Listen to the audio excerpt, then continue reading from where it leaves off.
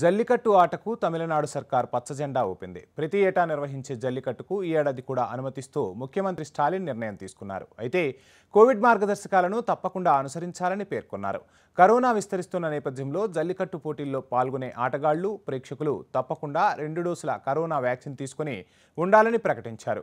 ప్రతి ఏటా జల్లికట్టుపై వివాదం హింసాత్మకమైన ఈ పోటీలను నిషేధించాలని కొందరు డిమాండ్ కొనసాగుతూనే ఉంది. ఇలాంటి వాటికి చెక్ పెడుతూ స్వయంగా ముఖ్యమంత్రి నిర్ణయం తీసుకున్నారు. మదురై జిల్లాలో ఈ నెల పద్నాలుగు నుంచి జల్లికట్టు పోటీలు ప్రారంభం కానున్నాయి.